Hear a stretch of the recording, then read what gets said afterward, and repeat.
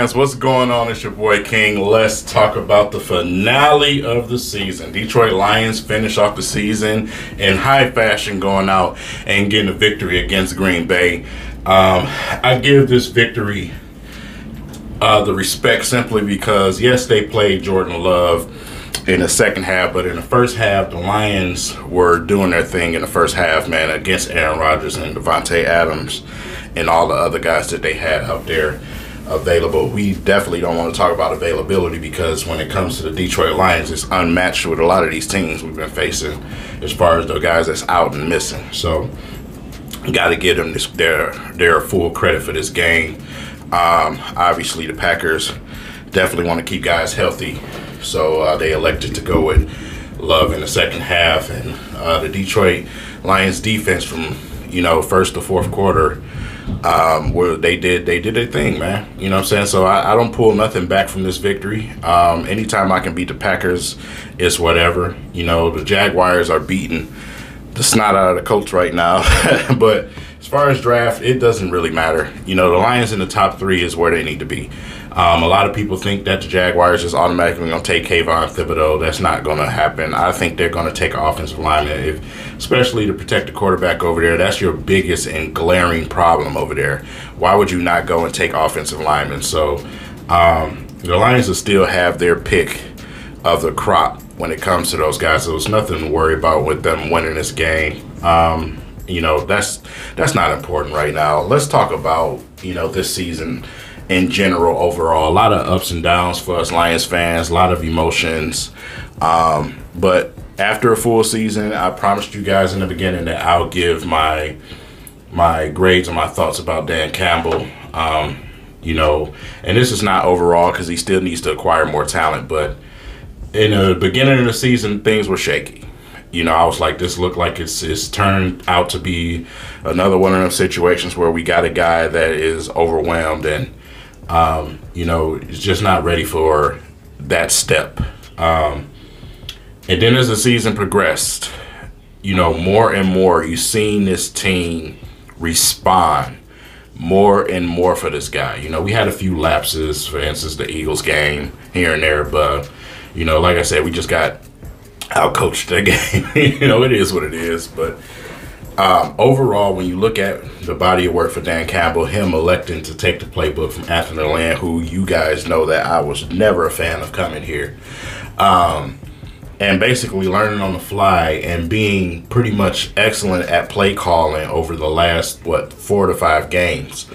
So literally learning as he goes, and you know, a guy that can, you know, do those type of things, man, is is, is something that you, you want to hold on to. He number one, he he he created a culture. You know what I'm saying? We haven't had a culture since the Caldwell era. Um, and that's the most important right out of the gate when you're starting out in the rebuild. You want to create a culture, and our culture is the culture that he walked to the podium and told us. He walked to the podium and said that we're gonna get knocked down, we're gonna get back up, we're gonna bite some kneecaps, you know, and everything else. And that's the type of team that this team is, is proven to be this year. Even though we only won three games and tied, um, still, we all know what this is. We didn't expect them to go out and win a bunch of games. We just don't have the roster for it right now. Uh, but for him to take what we do have and have them to play and show up the way that they have for this entire season and play for this man when they really don't really have much to play for um, as a team in general you know, it, it, speaks volumes to me to have these guys coached up and say, hey, this is an opportunity for you to show us why you belong on this team that we are trying to build for the future. So it motivates those guys. Um, but we all know that, that that's not always the case with a, you know a lot of the teams that we had in the past in that situation where guys didn't rise up to the occasion. Well, Dan Campbell, um, Aaron Glenn, man, you know what I'm saying. uh, Duce and, and, all the other guys on the offensive side of the ball, as far as coordinators, they've done an excellent job with this team through and through. They really have. We actually maximize what we had available. We don't have big names available right now. Um, we have players that's developed into big names over the season. Um, D'Andre Swift obviously took the next the next step this season. Uh, guys like uh, Amani Oruwariye, my pick at the beginning of the season to be a breakout player, he turned into that. Um, you know, Amon-Ra St. Brown, this guy here on this autograph football.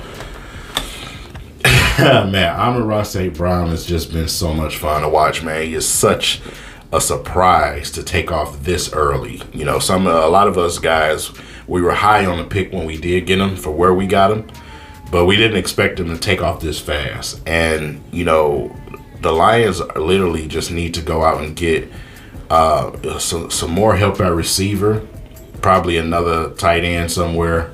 Um, and like I said, you you looking at an offense, man, that can really really do some things. Um, you know, Jared Jared Goff is going to be here, but if you give Jared Goff everything, I mean everything he needs, he's serviceable. He's serviceable. So um, you know, he's going to be here obviously because of his contract, but you know, the Lions go and get a receiver in this draft. Um, you know, as long as it's not the first, very first picks, then I'm good with that because you need it. Um, you know, we got a lot of holes on the defensive end, obviously, uh, but we also need that receiver. We need another uh, receiver. We need a big body receiver, man. That's just dominant out there, and it makes everybody else better, like those Hockensons that they wouldn't be able to, you know, uh, draw up, uh, you know, game plans to to stop.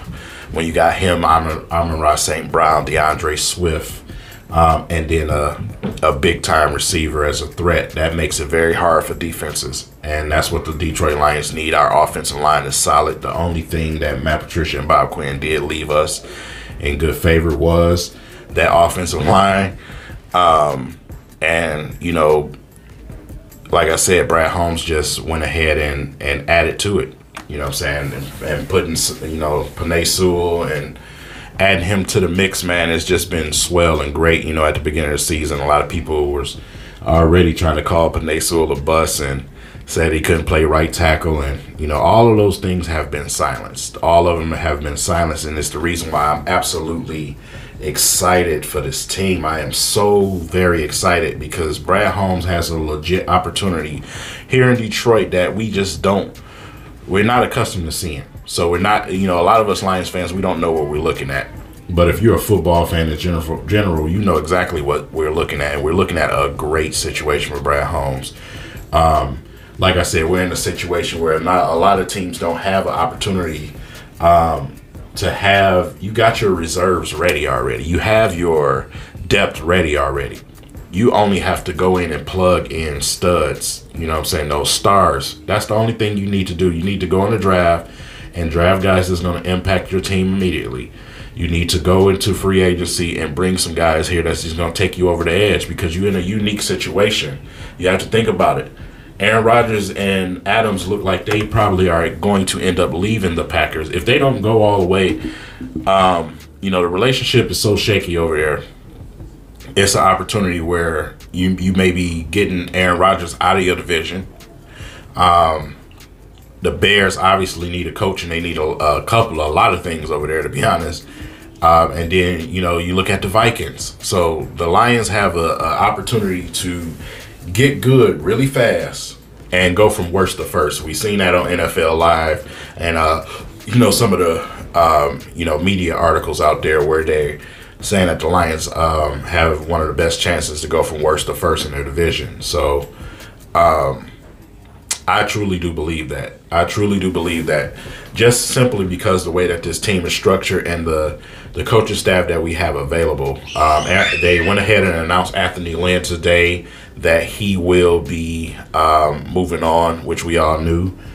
So, you know, what we do in that situation, we'll see. But whatever it is, I just got a good feeling that, you know, we'll find the right guy um, if, if that's um, something they elect to do. So, you know, like I said, you just look at this team overall from end to end. Yeah, we need some pieces. We need some big time pieces here and there. Um, you know, we'll be getting, we'll be losing some of those contracts we don't want on this team. So, but these young guys, young guys, um, have been playing their butts off.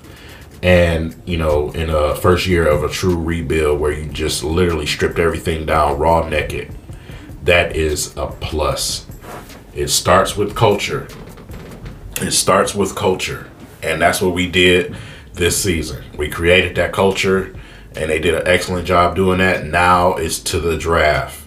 Those three steps, man. You establish a culture, you get that team to respect you and, and play and get up for you.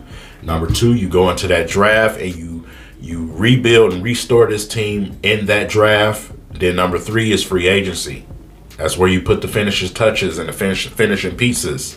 And Alliance will have that cap space in the future. So they're in a very unique situation. You Lions fans, you you guys need to be very appreciative of the way that this this staff has come in and switched everything around in such a short time. Like I said, it is so much resemblance with our other franchises right now.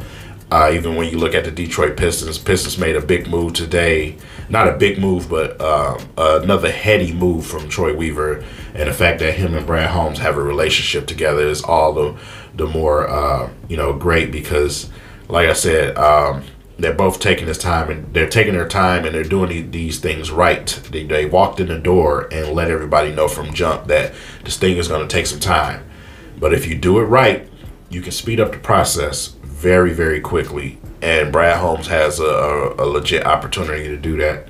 He definitely does. So, um, you know, obviously we'll do our true season wrap, go through some stats and look at some things like that.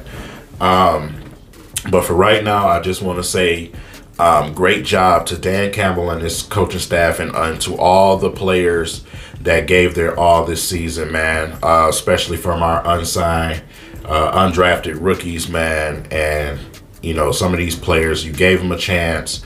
Um, and they took that opportunity and they played well. Even some of the guys that we thought were in the trash heap with this team that's been around, you restored. Uh, you restored, uh, you know, Reeves-Maybin. You, re- you restored Anzalone. You remember how bad we was on Anzalone in the beginning of the season. Some guys just couldn't get restored though, you know, like Will Harris. But anyway, I'm just talking, man. It's 12 minutes. Um, let me go ahead and get off of here, man. I got some more football to watch today. Obviously, big polarizing game today. Rams and the 49ers. 49ers playing for playoff uh, position uh, to get into the playoffs, and also the Rams are playing for the uh, division for the division. So it's a big time game. I'm gonna check a little bit that out, and then later on we'll be on the We Three Kings pod uh, with my brothers. Man, we'll be talking about some of these things. Um, but congratulations to the Detroit Lions for beating the Packers and, and ending the season on a high note. I hope you fans are excited as I am. And, um, you know, let's just watch this thing develop and and you know hopefully we can get where we want to go. So with that said it's your boy king. I appreciate you guys for stepping by and uh, i'll see you in the next video. Peace